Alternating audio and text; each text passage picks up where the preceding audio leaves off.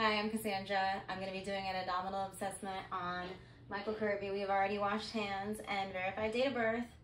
So I have my patient. He's already laying down. uh, we'll go over a quick health history. Do you have any um, concerns regarding your stomach? No, GI, nope, everything seems to be fine. Do you have any history of like peptic ulcer disease, GERD, like regurgitation? I do Heartburn. not, no, no. Okay, so if the patient would say yes, like they have chronic regurgitation, we would be concerned about potential Barrett's esophagus, which can lead to cancer. So it's one of the very common things that people tend to overlook that we want to assess for, which is just subjective. In your family, do you have any history of liver disease? No liver disease, No liver no, disease. no. Okay, so I'm looking at my patient. I see his stomach is smooth, it's flat, it looks very symmetrical. I don't notice any bulging. I don't see any peristalsis or the, um, I don't see his aortic artery pulsating. So from here, everything looks good. Now I'll move on to my auscultation. Now listen to all nine areas. Listening for bowel sounds, any hypo or hyper, hyperactive.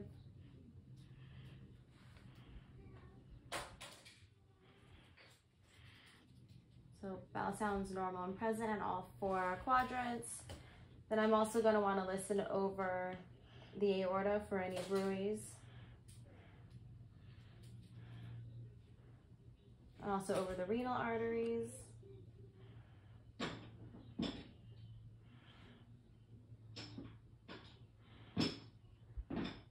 and down to the arteries.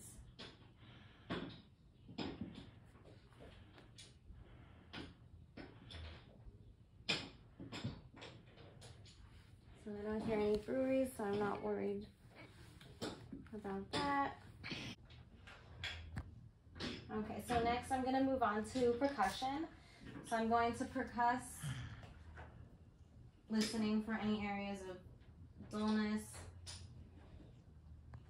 If I heard any dullness over the area where the intestines are, that would give me a clue that there's possibly a mass.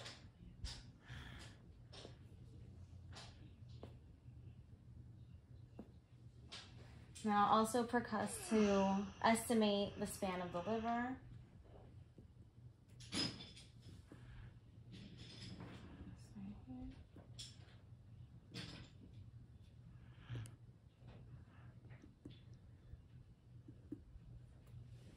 We're looking at about six centimeters. Um, had I felt and heard any dullness lower, we would be it would indicate that there's a potentially enlarged liver or something enlarged that's pushing the liver down and causing it to be lower than it's supposed to be, which would mean I would send the patient out for a an ultrasound to have a diagnosis done there to get a more accurate estimate of the size of the liver.